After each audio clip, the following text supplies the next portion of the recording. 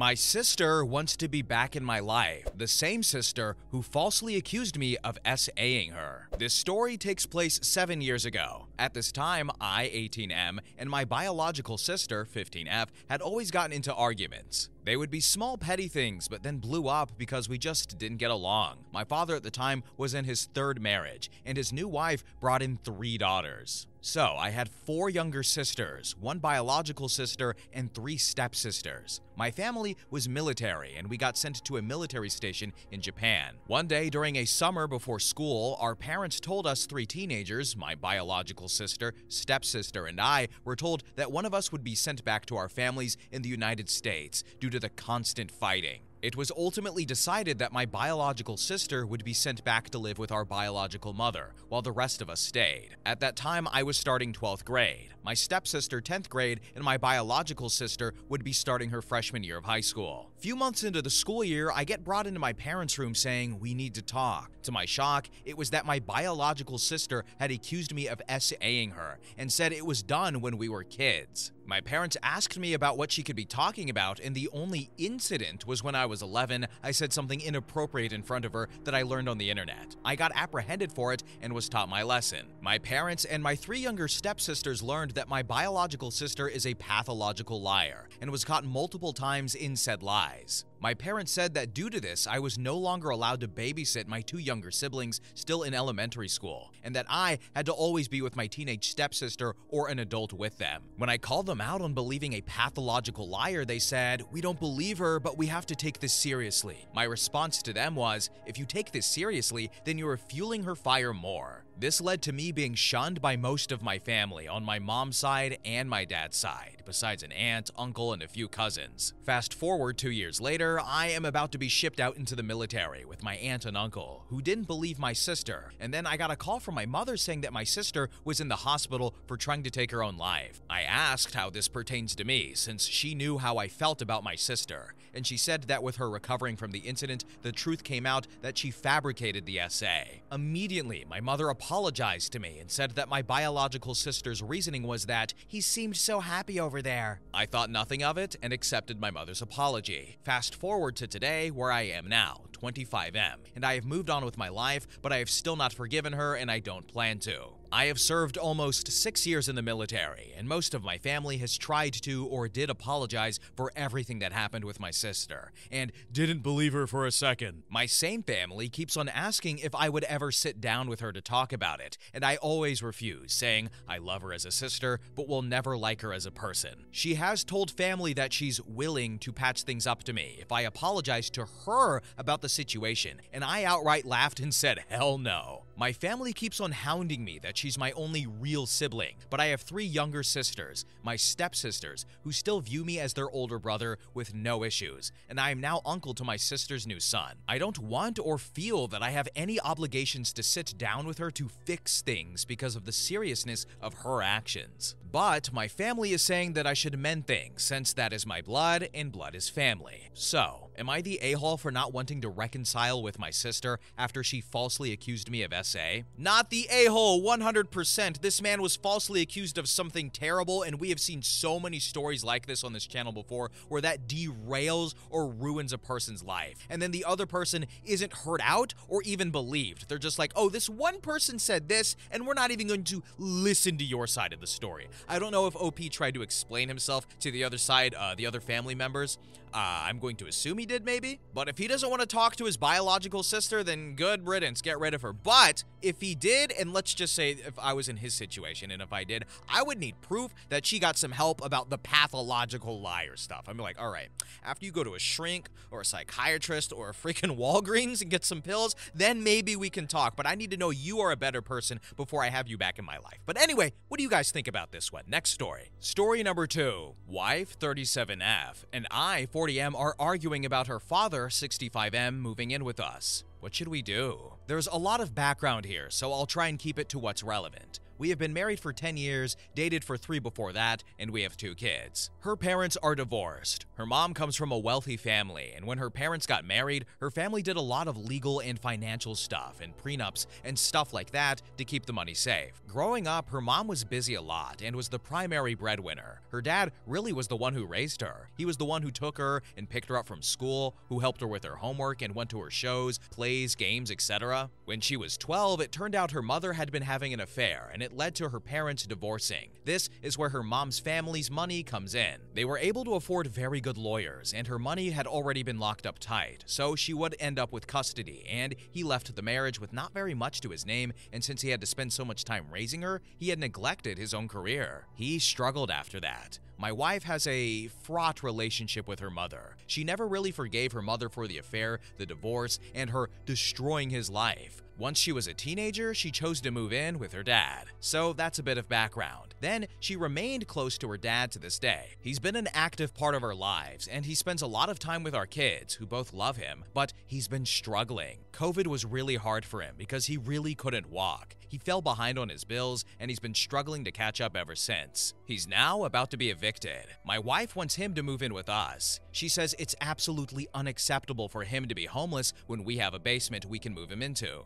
Thing is, the basement is my space. It's set up to be my retreat, and she now wants to turn it into a bedroom for him. We've been arguing about this because she says she won't allow him to be homeless, and my point is he won't be homeless. He has a place he can go with his sister, but she lives on the other side of the country. My wife hates that idea. She says she wants him to be a part of her and our kids' lives and not on the other side of the country. He's not a bad guy. I don't hate him or anything. I just want some space for our family. My wife's position is that he is family and he can help with the kids. She's accusing me of caring more about my man cave than the well being of her father. That is an exaggeration. He isn't going to be homeless. He can move in with his sister. This argument is starting to become pretty ugly now, and she's threatening to take the kids and move out to find a place with him if I won't agree to let him move in here. I resent that threat. I'm starting to wonder if this is really a hill I should die on. On the other hand, I'm shocked and angry that my wife seems ready to throw away our whole marriage over this. Update. I'm going to talk to my wife about getting him an in-law suite in our yard that he can stay in permanently and give up the basement until we can build it. The comments have helped me play out how the most likely scenarios would go. Just so everyone knows whose side you're all taking here, she is a spoiled rotten princess who grew up with a silver spoon in her mouth. Everything she has was given to her. Between my salary and the trust fund her grandparents left her, she doesn't need to work, but she does so anyway and complains she needs her dad's help with the kids. I'm a surgeon and she is an interior designer. Which of us do you think contributes more to humanity? She is a shallow, vapid woman who decorates houses while I am saving lives. Now, here are some relevant comments. User 1 said, You are ready to throw away your marriage for protecting your man cave. She is protecting her father. Maybe you have a sister in a different state that you could live with instead if it's no big deal. Then, user 2 commented and said,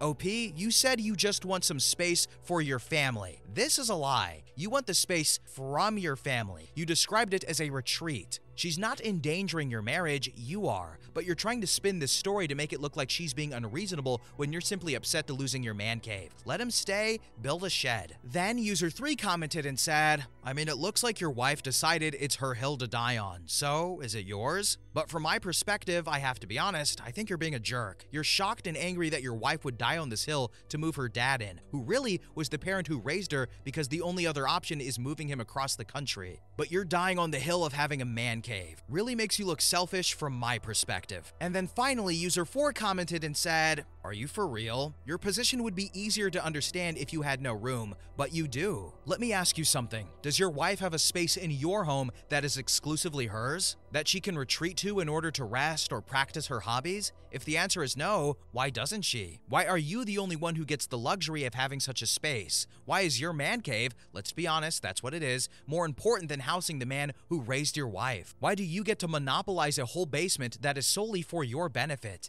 This is a hill worth dying on for her. Maybe this is the first step towards realizing she's married to a very selfish man. Then OP replied with and said, No, because my wife doesn't work on call in a high pressure job as a surgeon like I do. She doesn't need a space to unwind after she loses a patient like I do.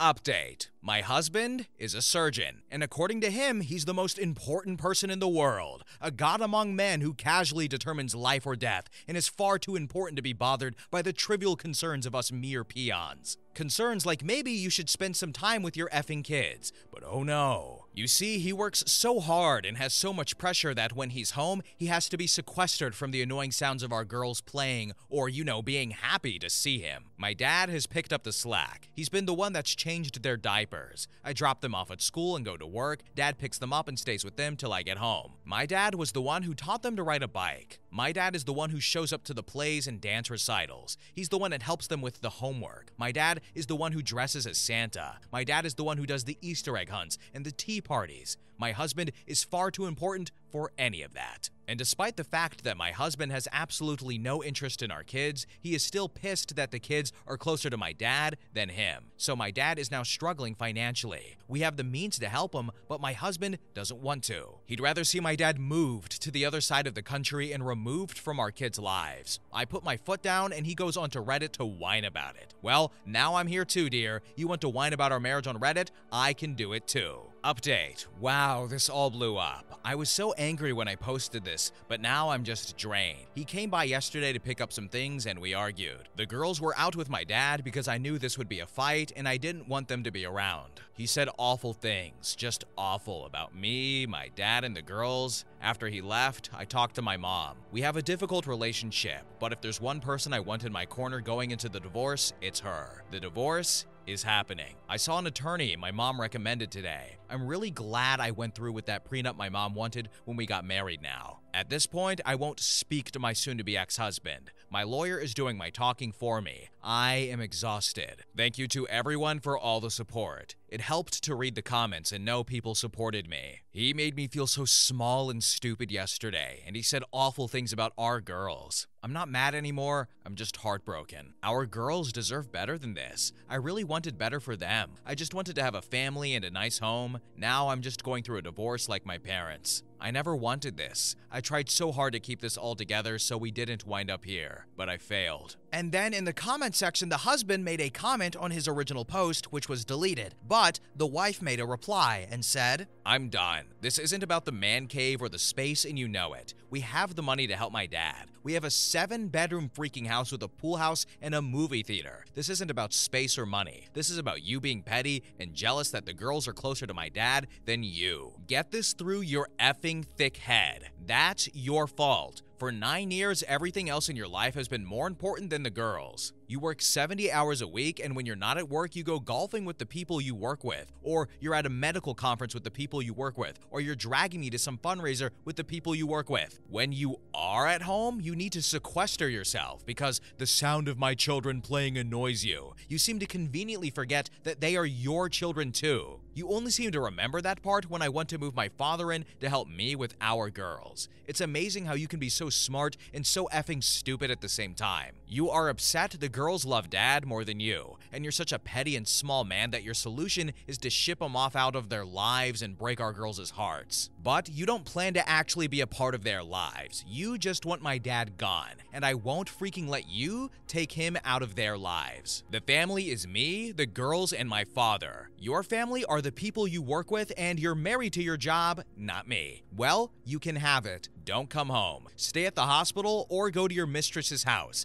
Yeah, I know about her, and I don't freaking care anymore. I'm done. I'm done trying to make this marriage work. I'm done begging you to be a father. The girls won't miss you anyways. You've never shown an interest in their lives, and I am done letting you hurt and neglect my children. They deserve someone in their lives that loves and cares for them and shows interest in them. You don't. You want to drag this out onto Reddit? Then fine, let's do this on Reddit. I'm divorcing you, we're done. Go save the world, you're free. By the way, you're worse than your parents. They may have been weird and misguided, but they were at least part of your life. And now he wants to talk about this in private, everyone. Now he has a problem with this being on Reddit. You're the one who brought it here, honey. Deal with your bed that you made. Now, here are some relevant comments from the wife on if it was about the man cave or not. It had nothing to do with the space. He was pissed off that the girls are closer to my dad than him, and he's such a pettier, small, insecure man that he would rather break our girls' hearts and take my dad from their lives than do anything. We have the space and the money. We have a freaking pool house we will be moving my dad into. He's not really going to lose his man cave. This was never about his man cave. And there's no coming back from this. He'd rather break our girls' hearts than be a part of their lives. He was complaining to me the other day that if my father was here, then he would be playing with the girls when he was home, and the sound would annoy him. I just can't explain the rage I feel when I think about my husband, the father of my children being annoyed at the sound of his girls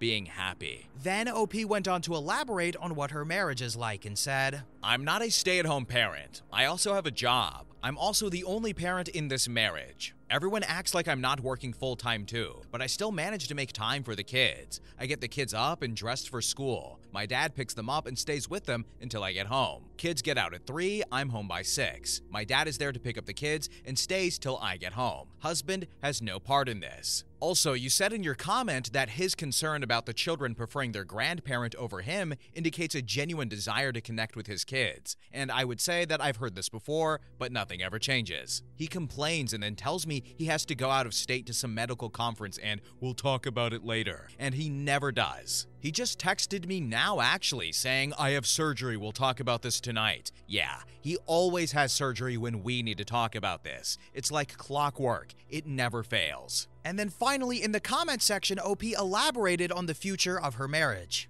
Yes, we are headed to divorce. I'll be sending the papers to the freaking hospital. My dad is moving in and my husband is moving out. We'll figure out the house and the divorce. I probably shouldn't say anything else at this point until I talk to an attorney. New updates. My ex-husband was never a very present father. He's a surgeon and spent most of his time either working or doing something with his coworkers. He was rarely ever home and when he was, he mostly wanted to be left alone to hang out by himself in his man cave. He didn't like the girls being loud or playful because it disturbed him. Our daughters have walked on eggshells around him, and he's never taken much of an interest in their lives. So, we just finalized our divorce. He couldn't wait to get out of the marriage. He wanted to be done with this marriage and our kids so he could take a new job in another state and live with his affair partner. I asked for full custody, and he was relieved. He didn't want custody. He didn't fight at all for them. He hasn't even seen them since the day he moved out two months ago. He's gone now in another state, and my oldest had her 10th birthday about two weeks ago. I threw a really huge party for her. I made it a really big deal, and he promised her he would be there. And he never showed. We got a card with a lame apology and a gift card from him a day after her birthday. I felt so bad for her. And what makes it worse is she wasn't even upset. I asked her how she felt about it, and she shrugged and just said she wasn't surprised, and that dad didn't really love them. What the hell do I say to that? I am at a loss for words because I don't believe he loves them either. Do I lie to them? Should I tell them of course he does and say he's just too busy? What do I tell her? The truth? No, he really doesn't love you? I have no idea what to say to my girls. Should I even bring it up? Just not talk about it at all? Just leave the fact that their dad doesn't care about them and has pretty much abandoned them? Just carry on as usual? Because let's be honest, he hasn't been a part of our lives for a long time. He never really was. Not that much has changed for the girls besides the fact that they don't need to walk on eggshells for the one or two days a month he was even at home. I just, I don't know. Both the girls are in therapy now. We all are. Maybe this is something I should bring up there. Update. Two months later. Hi everyone, I'm back. My husband is now my ex-husband. In our state, you only need 30 days between filing and judgment. We both agreed divorce was best. He moved out New Year's Day and has never been back. My original post sorta went viral. It was reshared on TikTok and on Facebook,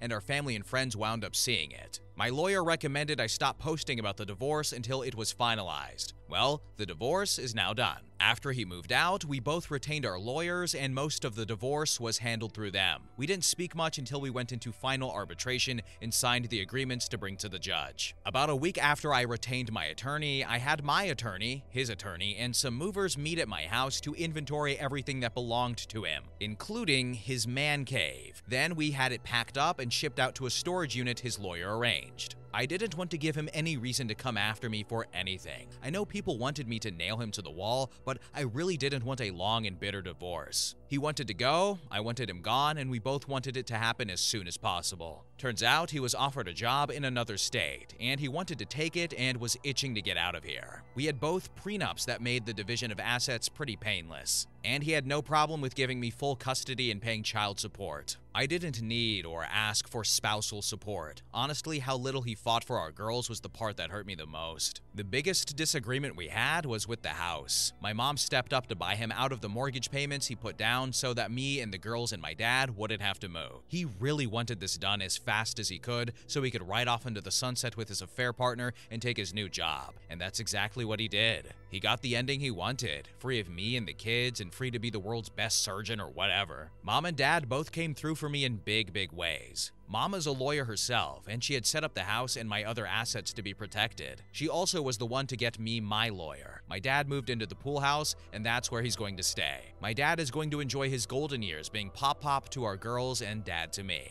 I'll make sure he won't have to worry about anything. My daughter's 10th birthday was two weeks ago. My husband promised her he would fly out for it. I made this party a really big deal. I hired performers, rented a bouncy castle, had all her classmates over. Most of my family was there. My mom and dad were able to be in the same place and not fight. We had a really great time, and he never showed up. She got a card from him the day after the party with a lame apology and a $500 gift card. I asked her if she was okay, and she shrugged. She had a great time at her party and didn't expect her dad to show. She knows he doesn't love her. That's what she told me. She wasn't really upset about it either. She's 10 years old and already expects him to disappoint her. It breaks my heart. But she's a trooper and she didn't let it stop her from enjoying her day. I realize that for years I've been trying to make a home for him to come home to, but he's had one foot out the door and I've been holding his hand trying to keep him from going. I finally let him go. I'm doing better than I thought I would be, to be honest, and the girls are too. I don't really miss him. The girls don't really miss him. I'm not even angry about the affair. She can have him. I'm just disappointed. So I'm not going to sit here and pretend that being a surgeon is not a stressful job, that being on call isn't stressful. And he does work a lot. So yes, I get it that someone needs to decompress, but you got a family. And if you want to be a good father, then you need to make some sort of compromise and be present. And uh, I guess original OP had just no intentions of doing that. Because like the wife, OP number two, the sequel, said he had one foot out the door the whole time. And now the oldest girl is 10 years old and is already disappointed and doesn't expect anything from her father. Oh my goodness. Thank goodness OP number two, the sequel, is taking everybody to therapy because they need it. Only because of the husband and what he did, or didn't do, I suppose. But um, hopefully everything works out for uh, the, the family. And you know what? Surgeon dad, go ahead, do whatever you want, I guess. Anyway, what do you guys think on this one? Next story. Story number three. My boyfriend has been ignoring me ever since I said no. I, 17F, have been dating Robert, 18M, for about five months. We met through a mutual friend, but started becoming closer once he asked for my number. I really like him. I'd even say love if it wasn't too early. He was my date to my school dance, he goes to a different school, and after the dance, we went back to his house just to hang out. I changed out of my dress into sweats and a big shirt and just threw my dress over his desk chair.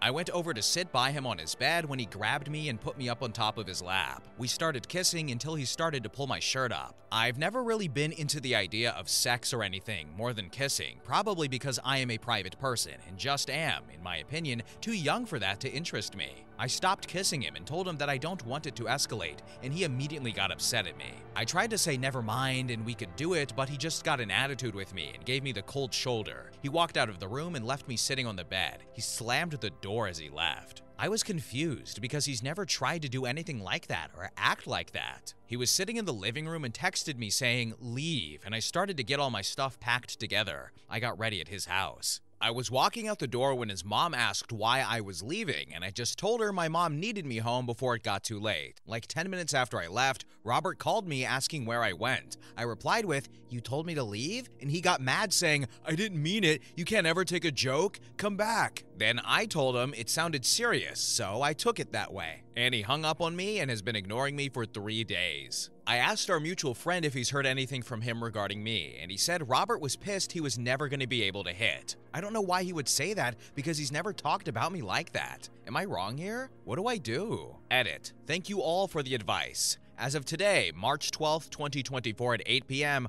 Robert finally did reply to me and just told me that he wants to talk in person. I'm going to go over to his house tomorrow to discuss whatever there is to discuss. I'm not 100% sure how to use Reddit since this is my first time, so I'll try my hardest to update correctly. Now, here are some relevant comments. User 1 said, It's okay if it's not right for you. Dump him and move on. He's just not the guy, and that's okay. He's putting his needs before yours, and it's clearly emotionally underdeveloped. Unfortunately, that's of this age. You can do so much better. Thank you for this comment. I feel like some people are blaming me for not seeing the red flags, but like I said before, he's never been like this at all. So those red flags weren't existent before this. Then user 2 commented and said, You are not in the wrong here. It sounds like he never even broached the subject with you before this. He wanted you, and when you rejected him, he showed how big of a baby he is. Cut him loose and find someone worthy of you. We never really talked about sex, but when it has been brought up, I try to shut it down because, like I said, I'm not really into that. I thought by shutting down the idea when brought up, it would show him that I'm not really ready or into it. I probably should have elaborated more, but too late for that now, I guess. Then user 3 commented and said, Old guy says, sounds like trouble to me. I'd avoid being alone with him again. He can talk over the phone. Do you have a mom or an older sibling that you can trust and talk to? I have talked to my sister, who is 24, about it, and she told me the exact same thing all of you are saying. I only came to Reddit because I was feeling like I was in the wrong, and I needed more than just my sister's opinion. She's never liked Reddit, so maybe I thought she was biased, I don't know. But I understand now. And then finally, user 4 commented and said, This is a huge red flag. Get out now. He is abusive and controlling. He's young and may grow out of it, but I doubt that he will. How do his parents interact? That will give you some answers as how he is going to be with you. From what I have seen throughout these past five months, his parents are angels. His mom and dad act as if they are soulmates and would die if they lost each other. They have always been kind to me and my family, but I don't see things behind closed doors, so maybe it's all a front. Update. Hi everyone, this is an update to my post yesterday. I'd be lying if I said it went easy. And before I go into detail, please don't comment saying I told you so, because I most definitely do not want to hear that, and 100% know who was right. But at the end of the day, I made the decision to go over and end it, also to get my things back. I'm glad I went over to further fully comprehend who he is, and if I could go back in time and do it again, I would. This will be a long update. I went over to his house at around 3, right after I got out of school, and brought our mutual friend with me. I explained my side of the story to him, and he's on my side, and thinks it was disgusting of Robert to say that and act that way towards me. I wasn't too scared to go inside, since I knew I had backup, as well as his parents being home. I replied to a comment saying I wouldn't have agreed to go if they weren't there. We both walked up to the door and knocked. Robert opened the door and gave our friend, I'll call him Quentin, a nasty look. Robert asked Quentin why he was with me. Quentin said that he was there to make sure nothing happened. Robert invited us in, but kept the look on his face as Quentin walked in behind me. We went into his room where all my stuff was in a bag, and Quentin sat next to me on the bed while Robert sat in his desk chair. Before I could start talking, Robert cut me off to say how sorry he was and that he didn't mean to make me uncomfortable. I wanted to think it was a sincere apology, but because of this whole situation, there was no way it could be sincere. Then I said, I know you said you're sorry, but how do I know it won't happen again? I don't trust you anymore, and I can't be with someone I don't trust. And his face immediately changed. I stood up to grab my bag of stuff when Robert sprung up and pushed me back onto the bed to make me sit down. Quentin got up and told Robert not to start stuff he can't finish. Robert got in Quentin's face and started yelling random insults at him